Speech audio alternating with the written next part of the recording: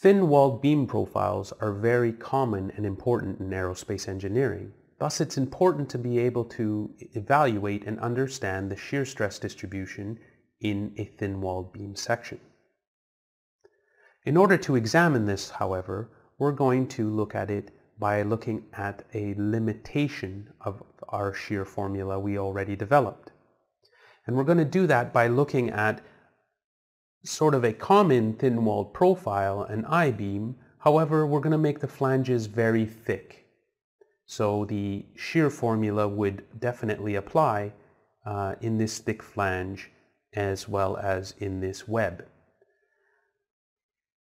If I section away um, a portion of the flange and a portion of the web and applied our shear formula, we would get that there has to be a uniform shear stress acting in the flange and a uniform shear stress over the small area of the web.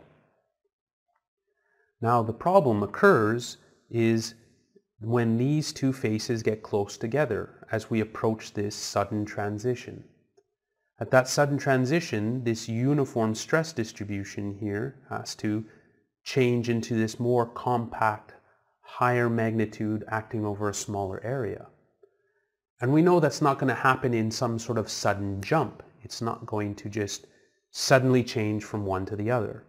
Really, stresses tend to flow through a structure.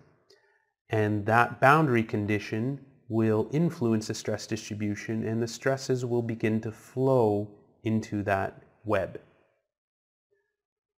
This kind of disruption of the stress field that we predict with our equations that assume sort of a well-distributed type of field. We examine this when we introduce the concept of St. Venant's principle, where certain boundary conditions and uh, things can interfere with that sort of well-distributed stress. Well, that sudden transition is precisely one of those things.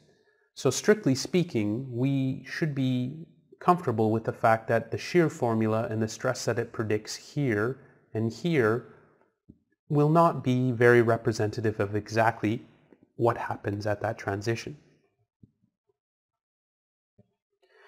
So what if this profile was thin-walled? We actually were looking at a similar profile, but it had a very thick uh, flange on it. Well, if you recall what a thin wall means, effectively, if we call something thin-walled, we say that the distribution through the thickness is negligible. We looked at this in torsion where we took the, the shear stress distribution and made it uniform rather than a linear distribution because we said you could neglect any variation over that very small distance. So that's it precisely what we would do for shear in a beam. However, something interesting comes up. If we look at the top surface of our flange, it is a free surface and the shear stress has to be zero. If we look at the bottom surface of our flange, except in the region where it's connected to the web, but just over here, then our shear stress is also zero in the vertical direction. That means, using this thin-walled approximation, that the overall shear stress distribution through the thickness of the flange is zero now that seems a little bit counterintuitive, but it's a result of that assumption that we're making.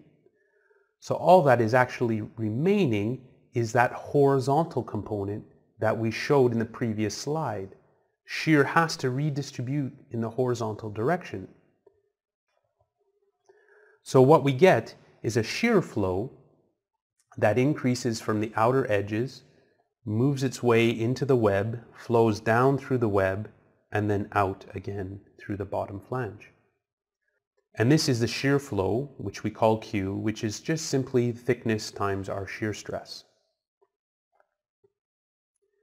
Now, if you recall from last video, we actually developed an equation for shear, and we even rearranged it in terms of shear flow, and said that the shear flow is VQ over I. So is it really that simple that we can apply the same formula from the previous videos? Well, let's take a closer look at our beam. and we'll cut away a section of that flange and we can recall that there will be a bending stress distribution and it'll actually be sigma here. It's a result of m and sigma plus d sigma which is a resultant of the internal moment plus differential moment. Now as a result of the higher magnitude of uh, the stress here,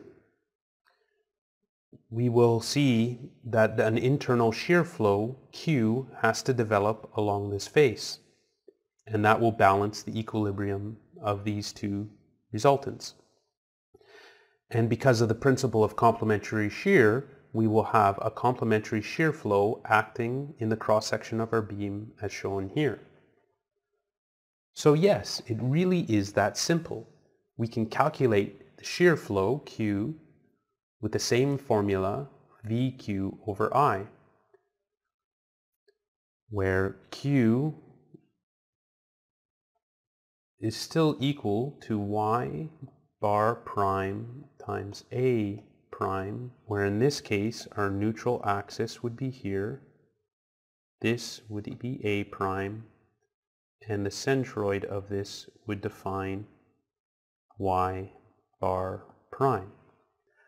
So you have to look at it from a slightly different perspective because now we're doing sections in the vertical direction of the flange here and then when we get here we start doing sections horizontally. But the same formula, the same mechanics, the same principles do apply.